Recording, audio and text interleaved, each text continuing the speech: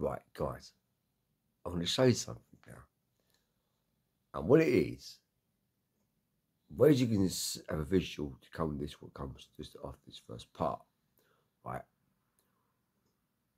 Is what the, the gentleman says, okay?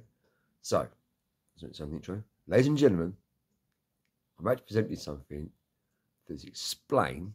Some of the to anyway, anyway, whatever. Right, so so to explain how an eclipse works.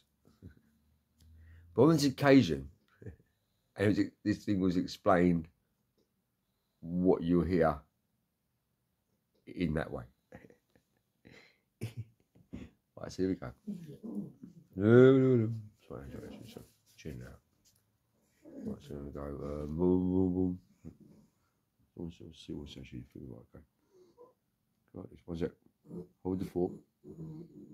Pause.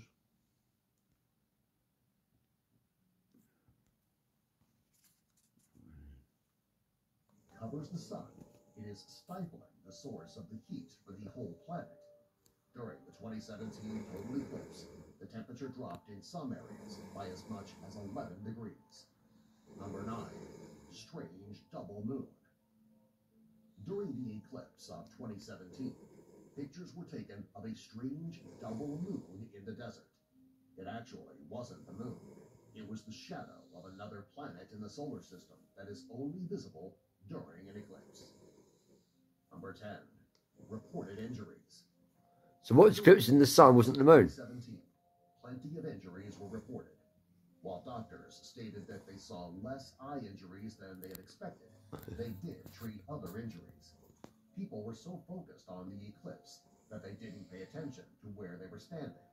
There were plenty of broken bones reported during the eclipse. There were even car accidents reported by people who were too busy looking at the sky rather than watching the road. Immediately after the eclipse, emergency rooms around the country began filling up. Hours later, doctors expected many more patients to come through the emergency room doors. It's surprising that anyone was injured, considering that the media started warning the American public weeks before about the dangers of the eclipse and what could happen if people weren't careful. That's weird. Subscribe for more. That's weird.